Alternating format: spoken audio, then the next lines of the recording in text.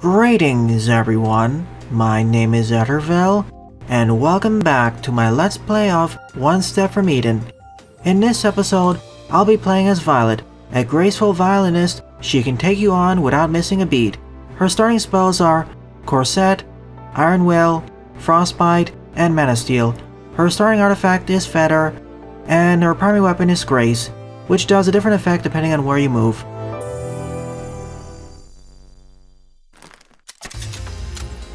So here's how Grace works. See, see those song notes I'm summoning in? If I move to the right, I fire projectile directly forwards. If I move to the left, I create a shield shielding up to 60 damage. And if I go up, I get one Trinity stack.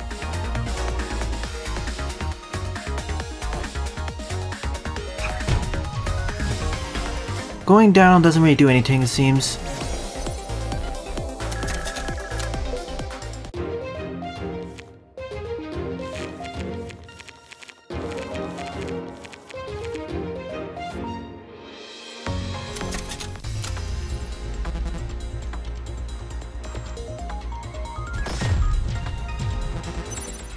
Sadly, her mana regen at base is pretty bad.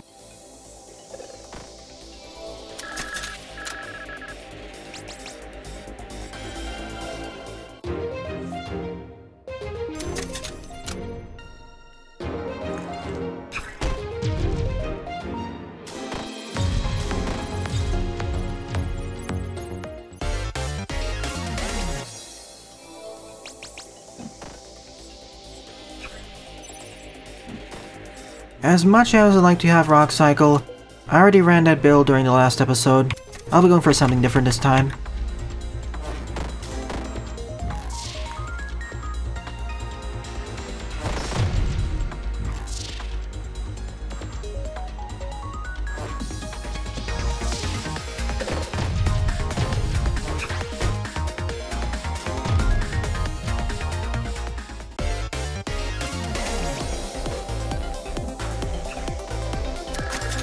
For this run, I'm going to be aiming for a Trinity build, combined with a few other things.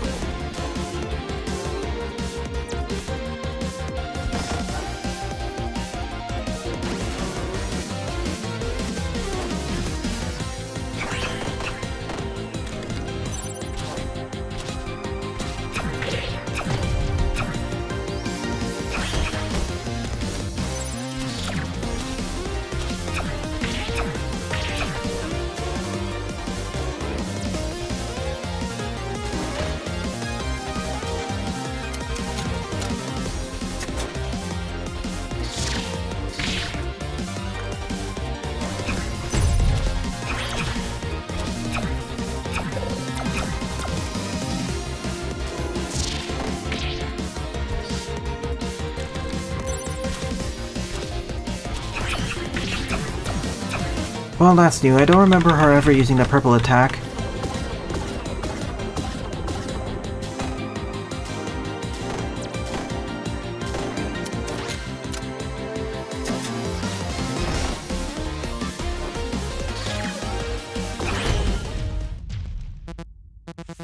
This will also be a pacifist run.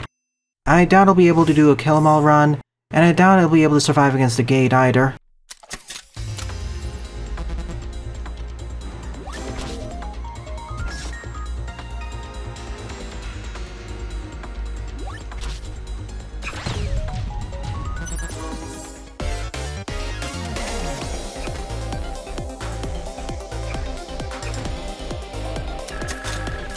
Just feel her base kit is one of the weakest kits in the entire game.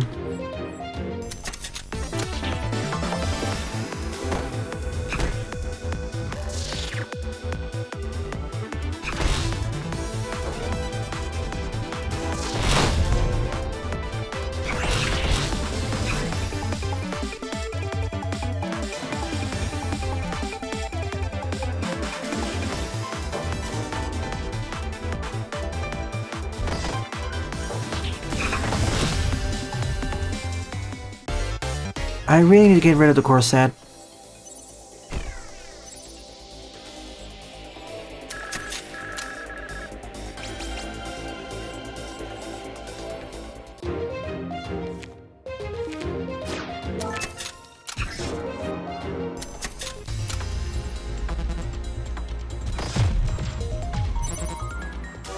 Once you bump up her mana regen to a nice amount, she becomes more useful.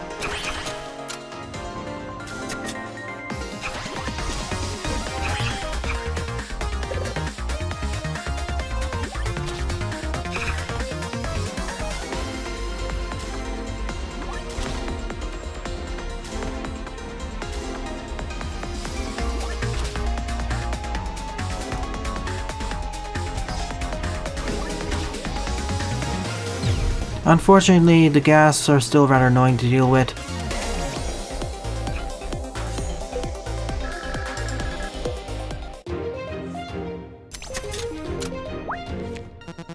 Now let's go for it.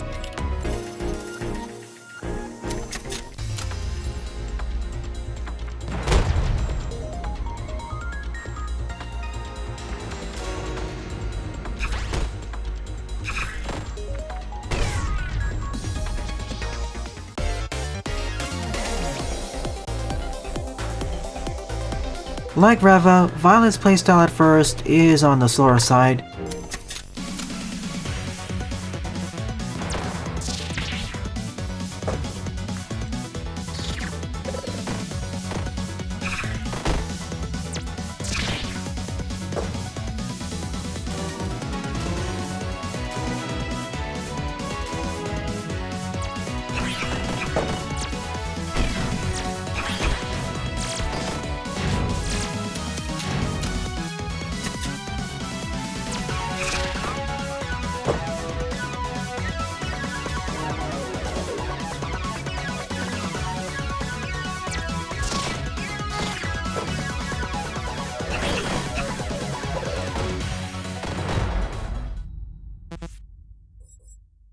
If I was more confident in my skills, I would have gone for a mixed run.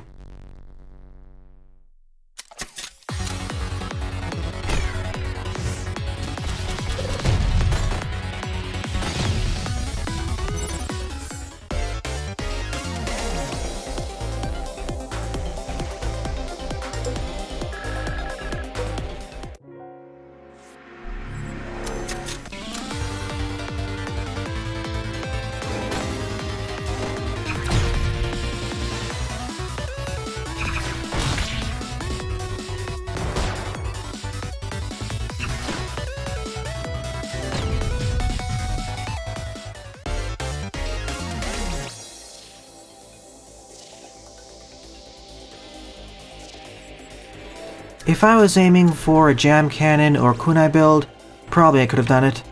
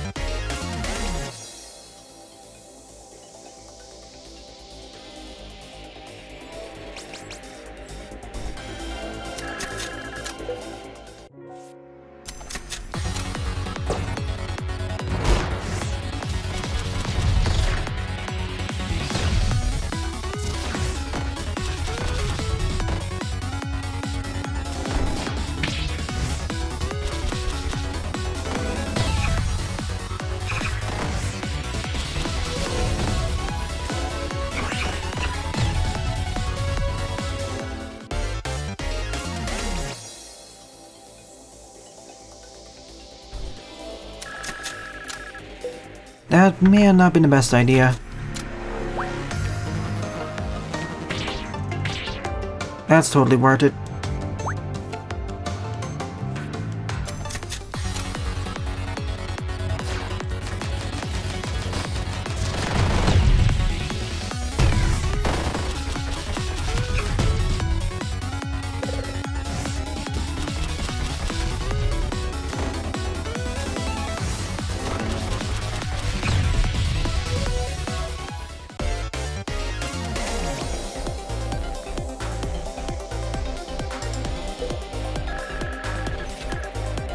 I mean, those jams are only temporary.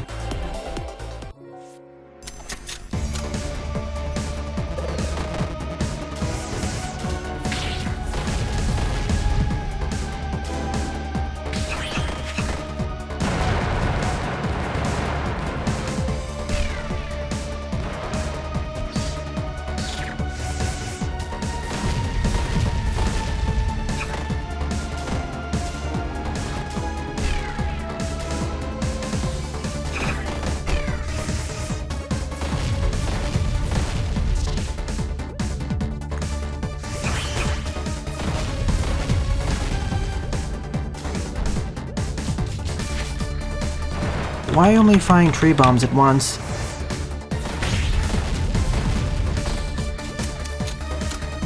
Is it really because you're only in your second version?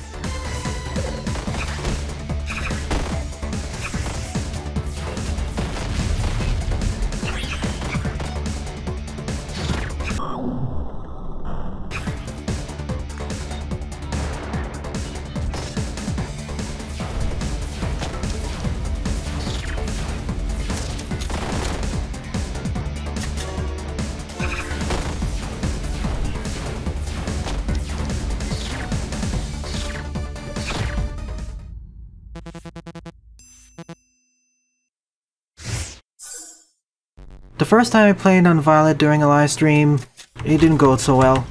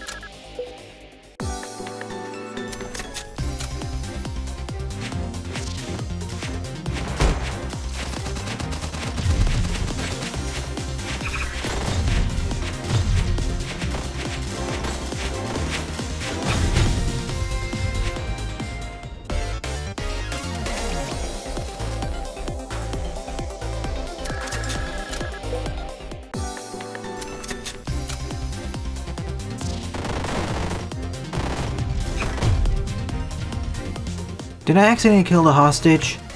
I did.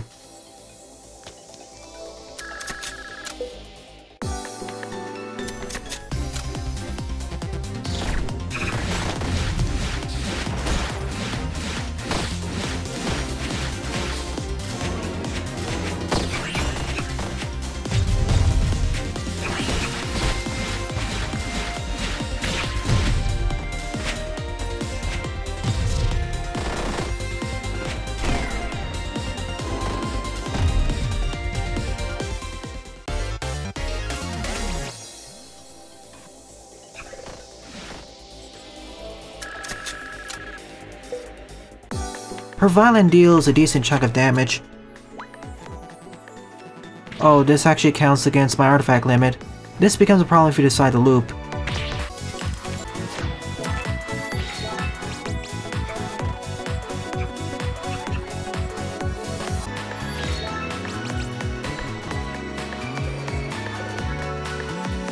The main reason for that is because there's a limit as to how many artifacts you can have at once.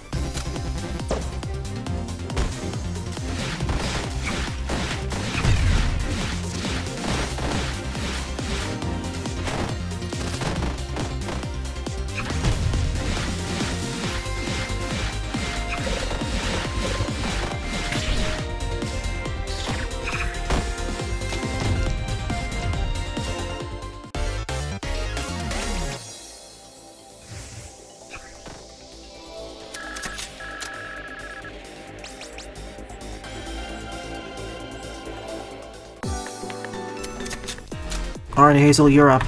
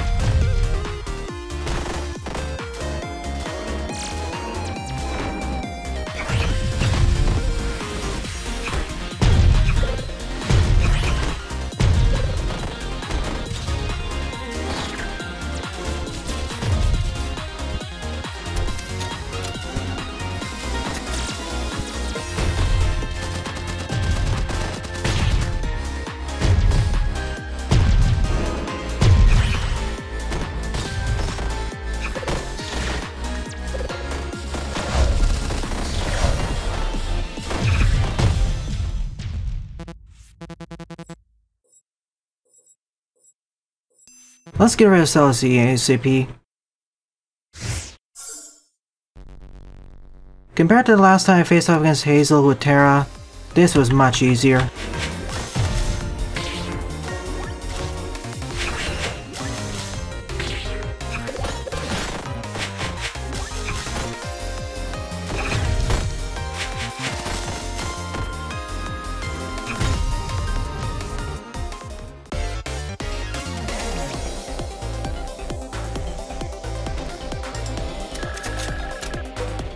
I wonder if there's a way to delete some of the artifacts I have.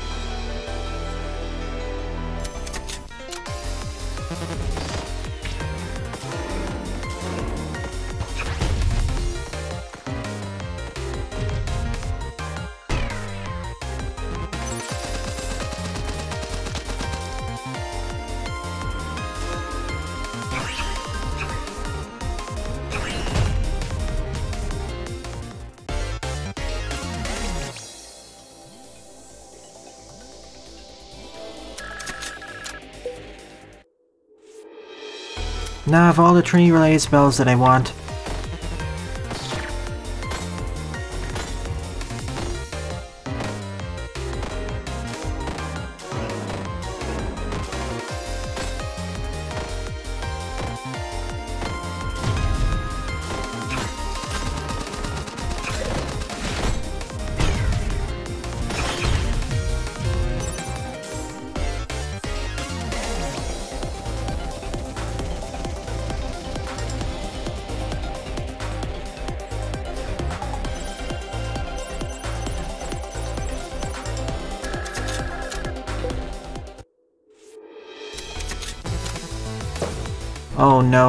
That's a lot.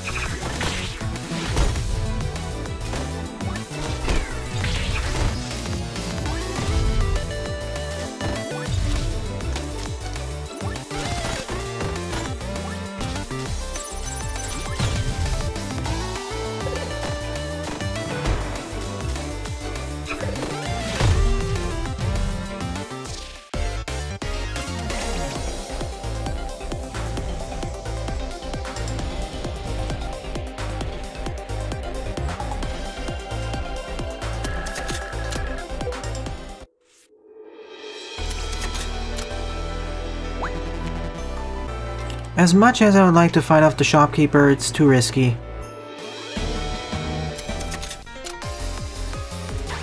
And I don't want to throw out this very successful run I'm having. And I don't want to throw out all the progress I've made so far.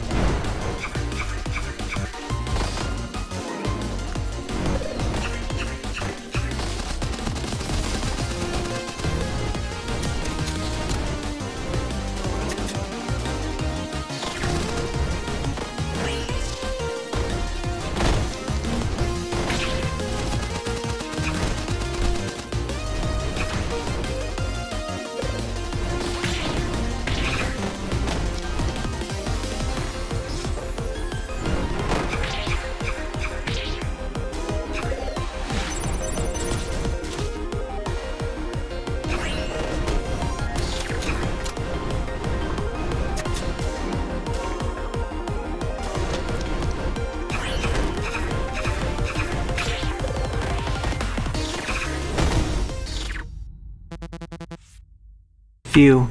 So Citrain Outwards got a buff following the rebalancing patch.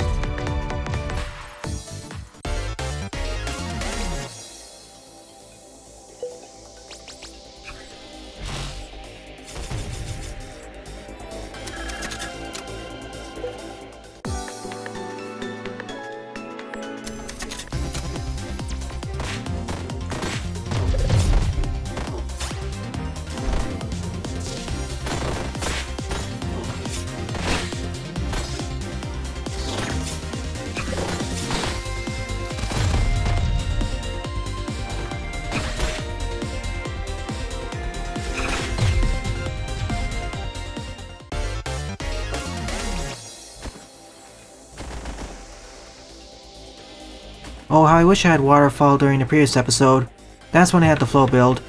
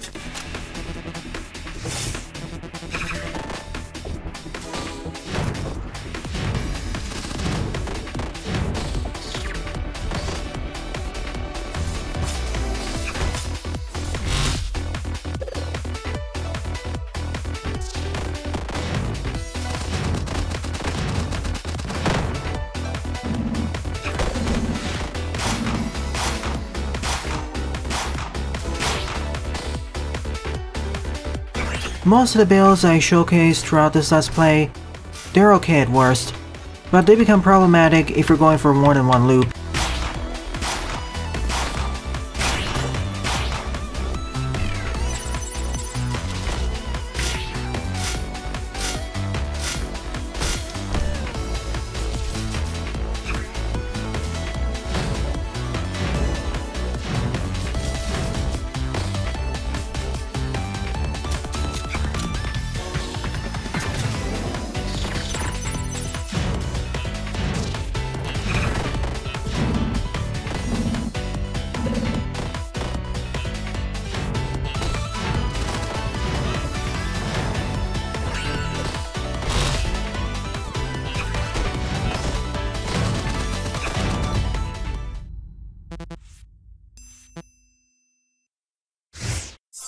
Now only Saffron's left.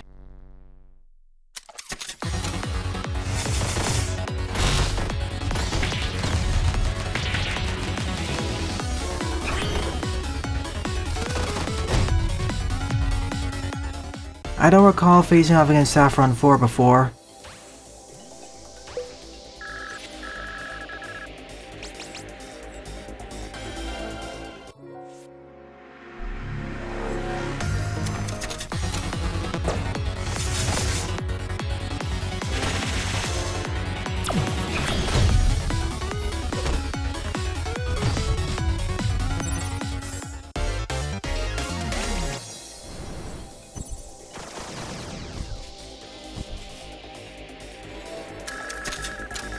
That's why I'm going for the campfire instead of the shop.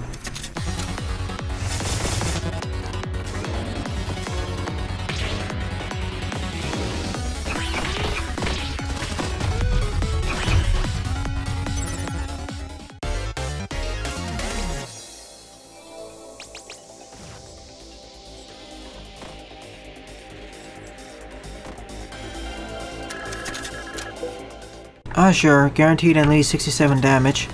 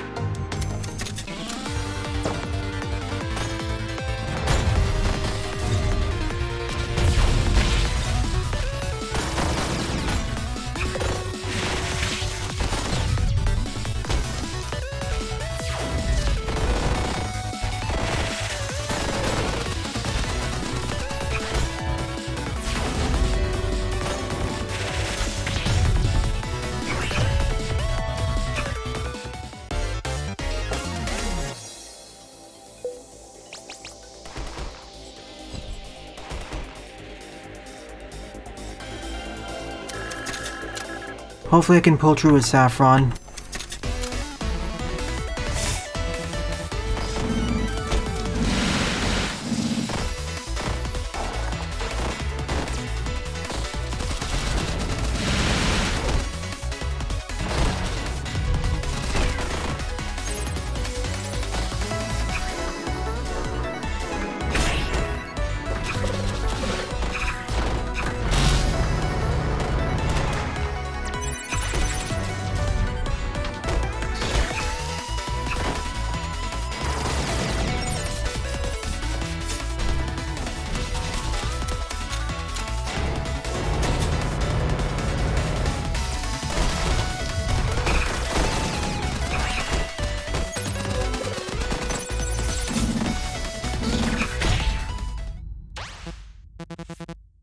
Not too bad. Not as bad as I thought it would be.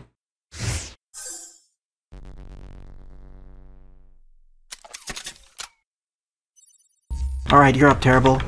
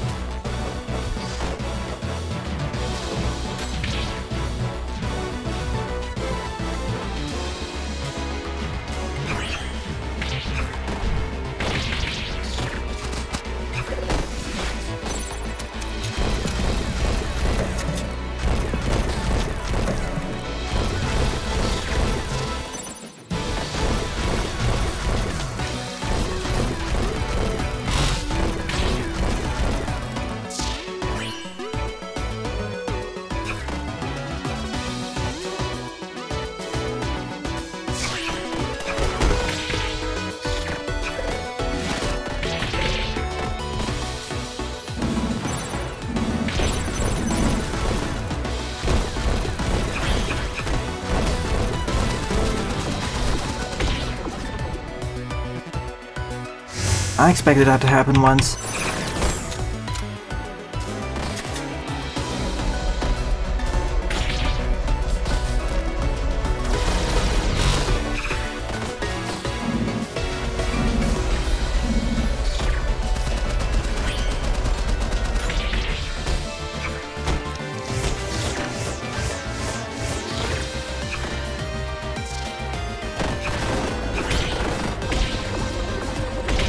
Oh, so close.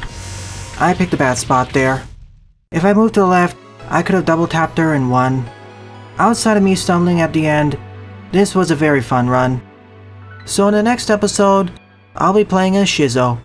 Well then, thanks for watching, and have a nice day. A few days later, I decided to start a new run on Helmo 3 using the same seed, and I was able to make it back to Terrible without too many issues. The following is that battle with her.